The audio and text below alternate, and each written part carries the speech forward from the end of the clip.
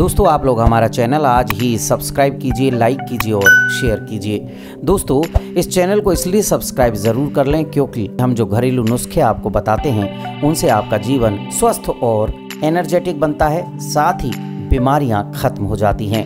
आज हम आपको प्याज से थायराइड को कम करने के तरीके बताएँगे। दोस्तों, प्याज में एंटी फंगल एंटीबैक्टीरियल और एंटी इन्फ्लेमेटरी गुण होते हैं, जो कैंसर से लड़ने में हमारी मदद करते हैं। इसके अलावा, इसमें विटामिन और मिनरल्स भी भरपूर मात्रा में पाए जाते हैं, जो हमारे शरीर को पोषण देते हैं और बीमारियों से हमें हमेशा के लिए बचाते हैं। लेकिन दोस्तों, क्या आप जानते हैं कि प्याज को सिर्फ़ गर्दन पर रगड़ने मात्र से आपका थायराइड कंट्रोल हो सकता है?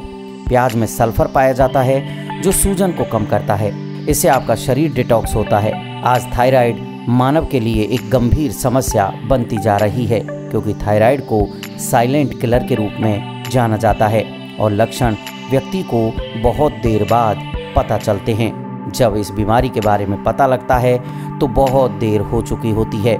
इसकी शुरुआत इम्यून सिस्टम में गड़बड़ी से होती है, जिसके चलते छोटे रोगों से लेकर बड़े बड़े रोग उत्पन्न होने लगते हैं और लोग इसे कंट्रोल करने के लिए दवा खा खा कर परेशान हो जाते हैं। एलोपैथी में भी इसका कोई पुख्ता इलाज नहीं है। बस जीवन भर दवाई लेते रहो और पूरी तरह से कोई आपको आराम नहीं मिलता है।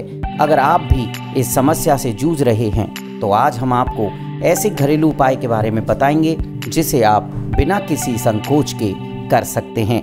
दोस्तों, आपने सुना होगा कि प्याज को मोजे में रखने से आपका शरीर डिटॉक्स होता है और आप बीमारियों से बचे रहते हैं। इसी तरह गर्दन पर थायराइड ग्लैंड के आसपास इसे रगड़ते हैं तो थायराइड कंट्रोल हो जाता है।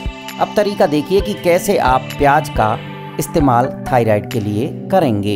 इस उपचार को करने के लिए सबसे पहले आप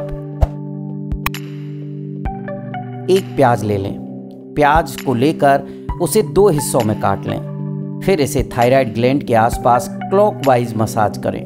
मसाज करने के बाद गर्दन को धोएँ नहीं, बल्कि रात भर के लिए ऐसे ही छोड़ दें। प्याज का रस अपना काम करता रहेगा। ये बेहद ही आसान और असरकारक उपाय है। कुछ दिन तक लगातार अगर आप इसको करते रहेंगे तो आपको नतीजे दिखने शुरू हो जाएँगे। इसलिए अपने थायराइड को कंट्रोल करने के लिए एक बार इस उपाय को ज़रूर आजमाएँ। आज के वीडियो में इतना ही दोस्तों। फिर मिलेंगे एक नए विषय के साथ। जब तक हमें दीजिए इजाज़त। नमस्कार।